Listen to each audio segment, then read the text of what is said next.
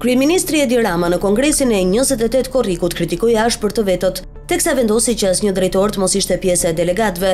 Po ashtu është folur shpesh për një frymë të re në administratë, por edhe pse kryeministri premton sikur lufton nepotizmin dhe u hap derën të rinjve, në fakt realiteti është krejt ndryshe.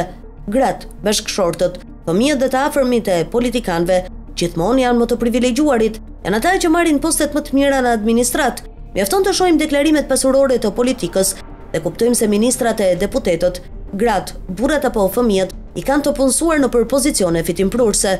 Pamfleti ka nxjerrë një listë që tregon se ku i kanë të punësuar politikanët familjarët e tyre. Të dhënat janë marrë në deklarimin që kanë bërë ata në ILDKP për vitin dy mijë e njëzet e dy dhe janë njëzet e tre emra që kanë treguar se të afërmit i kanë në institucionet publike. Shumë të tjerë kanë deklaruar se i kanë në shtet, por kanë fshehur emrat e institucioneve. Shumë të afërm ministrash e deputetësh punojnë tek doganat, tatimet, në ministri, bashki dhe institucione të tjera, por ka edhe nga ata që kanë prekur institucionet ndërkombëtare siç janë NATO dhe OKB. Disa të tjerë i kanë të punësuar në bashki, ISSH, OST, Fondi Shqiptar i Zhvillimit apo Agjencia e Kadastrës. Më tej është lista që tregon se ku i kanë sistemuar politikanët familjarët e tyre.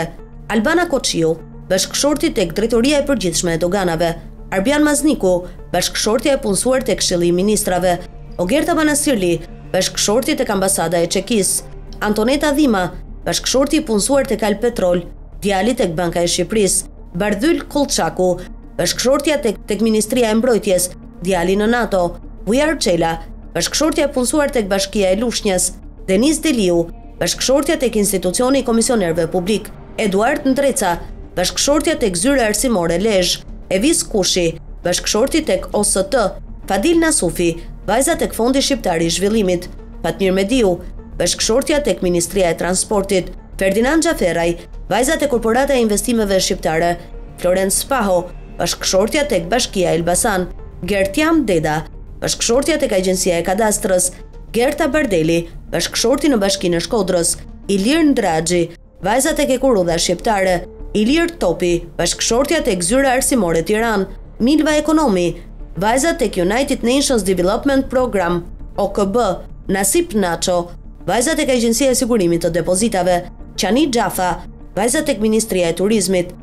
Samir Hasalla, bashkëshortja tek ISSH Elbasan, Shpëtim Idrizi, bashkëshortja tek Banka e Shqipërisë, Etilda Gjonaj, bashkëshorti tek Drejtoria e Tatimeve.